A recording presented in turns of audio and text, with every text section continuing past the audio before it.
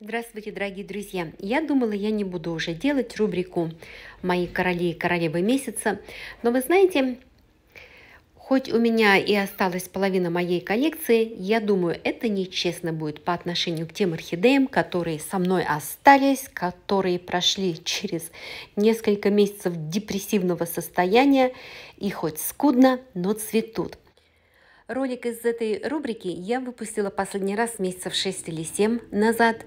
И, знаете, кто меня смотрит давно, вы знаете, что 20-30 орхидей умещала в один ролик на 20 минут.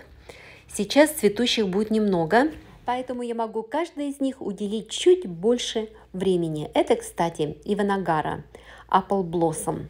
Те, кто меня смотрит давно и знают, что я выращивала орхидеи последнее время в орхидейной комнате, как бы в теплице, в такой солнечной комнате, и коллекция у меня где-то достигала 350 растений. Теперь у меня их осталось порядка 150, и я выращиваю их в квартирных условиях. Последние полгода были тяжелыми а, для моих растений. Они находились и в темноте, и в сухости, и поливала я их не по расписанию. Еще пару месяцев назад я думала, вообще не буду иметь никакой коллекции. Много растений у меня пропало, некоторые я подарила, а те, что продавала, они уходили на покупку вилок, ложек, поварешек, кастрюль. Уйдя от мужа, я с собой забрала только свои растения и свою одежду.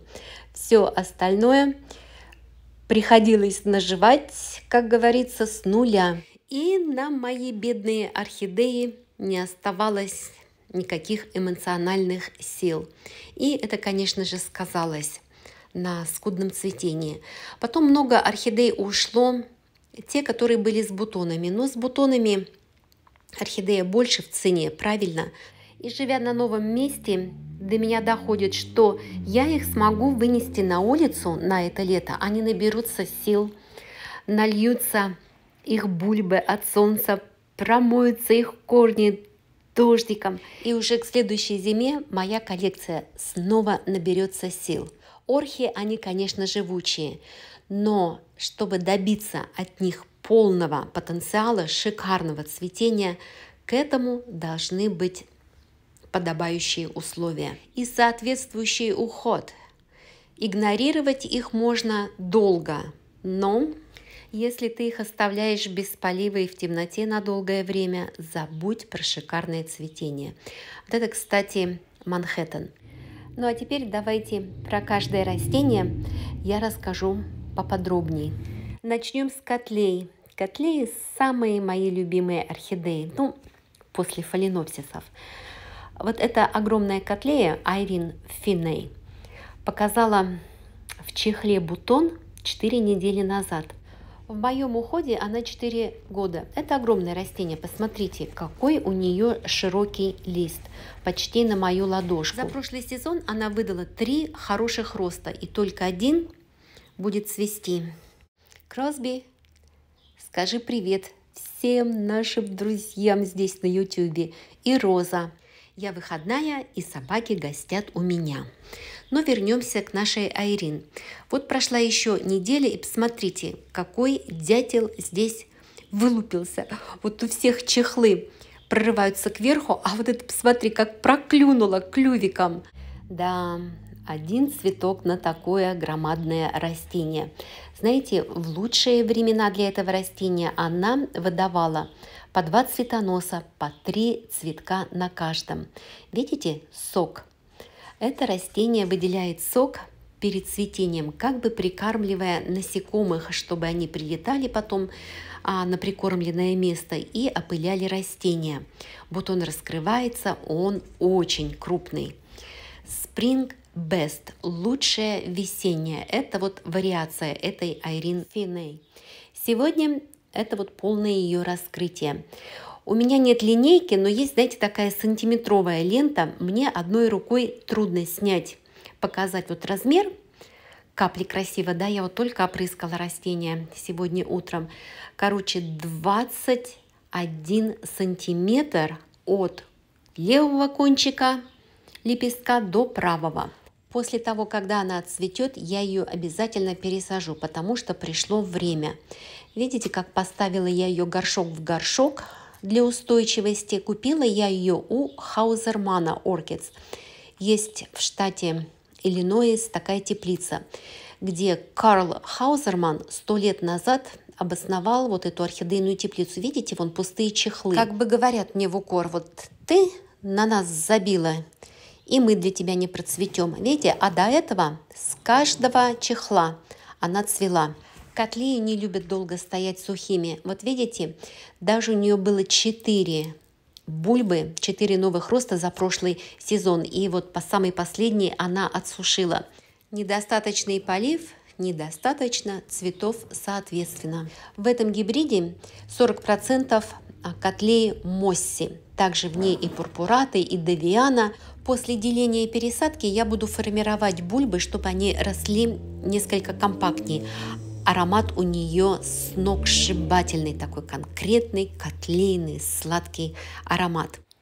Это фотография цветения этой котлеи год или два назад, когда на цветоносе было по три цветка и когда она стояла с подсветкой. Даже окраска цветов была намного ярче. Ничего, главное растение живое, а цветоносы нарастим. Следующее. Возвращаемся снова в 4 недели назад и будем наблюдать за развитием бутонов котлеи Шредера. Это растение цветет для меня в первый раз, и мне не терпится увидеть ее нежные цветы. Растение я купила два года назад, и год она адаптировалась, и вот сейчас я жду не дождусь. Родом она из Колумбии. Открыли ее где-то в 1800 каких-то там годах, когда один коллекционер орхидей, барон Шредер из Англии, купил большую партию растений от одного собирателя или охотника за орхидеями. И среди этой партии оказалась одна неопознанная. Заметьте, у нее белые лепестки в начале, когда она только-только начала раскрываться. Цвет будет со временем меняться. И вот эта неопознанная орхидея, котлея, сначала подумали, что это котлея триана. Теперь у нее появился розовый оттенок – сама нежность, вот какая-то зефирно-ванильная расцветка, но не зефирно-ванильный аромат. По описанию она должна благоухать. Но нет, аромата пока нет, может быть появится потом. И так как цветок у нее оказался таким, ну, очень-очень женственным, уже потом разобравшись, что это не котлея Трианы, ее назвали котлеей Шредера – но не в честь барона, а в честь баронессы Шредер.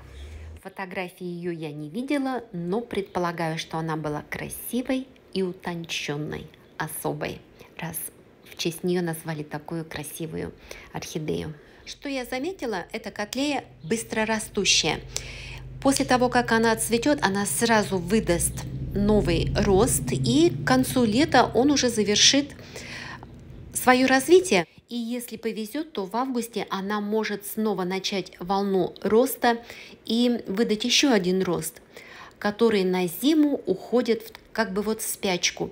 Я ее зимой практически не поливала, но я не поливала зимой практически все орхидеи. И, видимо, вот этой очень это дело понравилось, потому что пробудилась к росту она в феврале внутри чехла, я заметила какое-то движение, да, и уже начала ее поливать. Видите, это вариация деликаты. На одном цветоносе у нее может быть и 3, и 5 цветков. И даже зарегистрированы случаи, что 7 цветков а, было на одном цветоносе у Шредера. Да, она похожа на Трианы. Но у этой губа как сплошная рюшка такая махровая. Цветы, конечно, не такие крупные, но слева направо 16 сантиметров. И знаете еще какой у нее плюс? Она цветет уже 5 недель на данный момент. Если держать ее в комнате с прохладной температурой 6 недель, будет вообще для нее процвести легко. Иванагара Apple Blossom в моей коллекции 6 или 7 лет. Это сложный гибрид между лелией, бросоволой, котлеей и диакриумом цветонос был на три бутона. И вот в эти тяжелые времена, во времена дефицита цветущих орхидей, я еще и умудрилась потерять один бутон из трех. Знаете, это растение у меня делилось только один раз. Так же, как и предыдущей котлее Шредера, ей нужен период покоя. Она завершает рост бульб где-то к концу осени и выдает чехол, и потом засыпает. В марте этот новый рост начинает выдавать свои собственные корни. И в чехле тоже замечается некоторая активность, и вот в этот момент я начинаю полив орхидеи. А до этого в зимнее время, конечно, там буквально по чайной ложке. Ну, надо следить за бульбой. Если не морщится, то и поливать их нечего. Вот видите, не ухаживала за орхидеей и не сформировала вот этот рост вовремя. Теперь вот на полметра а, он будет занимать место больше. Да, с орхидеями вот так проигнорировал, не ухаживала как следует, и все, теперь жди только следующего года, чтобы было пышное цветение. Надо ухаживать. А вот здесь у нее есть еще один цветонос. Но, видимо, из-за недостатка света он не развился. Ну ничего, как есть, так и есть. Повешаю этот горшок на улицу, и за лето будем набираться сил. А вот в предыдущие годы она у меня цвела и на три цветка, и на пять цветков, а вообще говорят, что может свести до 7 цветков на одном цветоносе. Следующее – это дендробиум Blue Planet – голубая планета. Вид орхидеи дендробиум фаленопсис мне никогда не давалось легко. То они у меня листья засушивают, то корни засушивают, то бульбы морщатся. Я начинаю поливать больше, гниют корни. Вот этот мне подарила прошлом сентябре моя подруга Залина из Флориды прислала посылкой.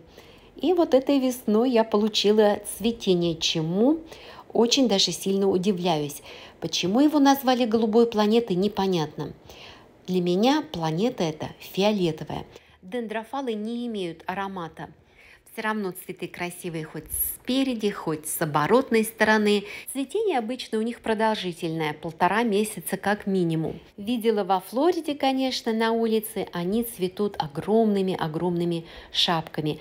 А это растение то же самое, только в саду у Залины. Смотрите, цветочки несколько другой окраски и на лепестках вот такие белые кончики у моего такого нет. И мой, мне кажется, несколько темнее, да, вот если сравнить.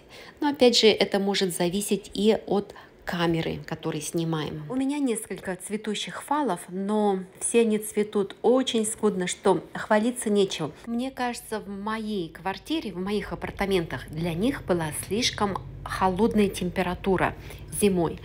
Когда я переехала, то, чтобы был не очень высокий счет за электричество, я держала температуру где-то 16 ночью и 18 днем. Для фаленопсисов, особенно таких вот азиатских, это, конечно, низкая температура. Тем не менее, вот этот фал, парфюмерная фабрика, я его купила в прошлом сентябре, дал ответвление на старых цветоносах. Цветочки, ну такие ароматные, такие лапочки. В следующем году устрою им более теплую зиму, чтобы цвели пышнее. Не любят они холодных температур. А вот это кадры прошлого сентября. Вот так он свел в прошлом году. Ой, какая у меня красивая столешница была. Была, да сплыла. И пофиг. Остановлюсь еще на одном любимом фаленопсисе. Этот называется Forever Love. Прошлой осенью мне подарила его моя орхидейная подруга Ольга из Кливленда. Названия у него не было, но на канале мне помогли определить название. По-моему, Лена Шилова тогда сказала, что это Forever Love, вечная любовь. Что интересно, один из родителей Forever Love – это Phalaenopsis Soga Lawrence, который мы знаем очень ароматный. Этот не ароматный. Вот так он ярко выглядел – в сентябре прошлого года. Смотрите, какие у нее цветочки, прямо вот лепесточки так загибаются такой чашечкой.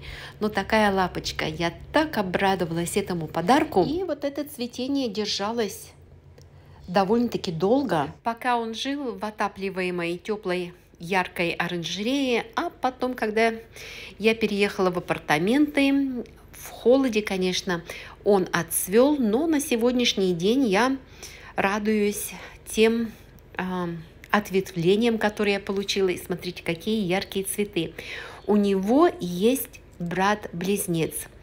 Оля купила два растения, одно оставила себе, одно подарила мне. А вот это кадры ее растения на сегодняшний момент. Ну, понятное дело, у нее цветочков больше. Слава богу, ее орхи депрессию не переживали. А вот этот желтый цветок, представляете, это еще тот с сентября до сих пор у нее цветет. Я, конечно, в шоке была. Смотрите, как со временем меняется расцветка начинаются такими яркими, да, и потом заканчиваются вот такими желтыми. То есть у нее он свел 9 месяцев, а сколько он свел до того, как она купила, никто не знает. Это один из самых старейших моих фаленопсисов, принц Окс, мой любимец. Была у него подруга Ванда, цвела точно так же. Больше ее нет с нами. Я ее потеряла, я ее потеряла, она Высохла была у меня малиновая Ванда. Смотрю на него и такие грустные воспоминания о похожих цветах Ванды. А это Фаленопсис Манхэттен. Я так думаю. Купила его тоже без названия. Если я не права, дайте мне знать. Да, цветущих орхидей мало – но ничего, и я, и мои орхи, мы выйдем на новый уровень. И все у нас будет хорошо. Я все равно выберу самую красивую орхидею месяца королем. Орхидейным я назначаю фаленопсис Принц Окс. Снимаю теперь вечером. Вот так выглядят его цветы в лучах заката. Свет падает на него через жалюзи видны такие полоски, а к нему королевой, ну, тут без сомнения, конечно же, королевой назначается Котлея Шродера. Уже пятая неделя цветения, и розовый цвет стал немножко пропадать. Мне кажется, больше белого. Спасибо, дорогие друзья, что были со мной. Дайте мне время, и я верну свою коллекцию к полному потенциалу, как в старые времена. На этом все. Желаю здоровья вам и желаю здоровья вашим орхочкам. Пока-пока.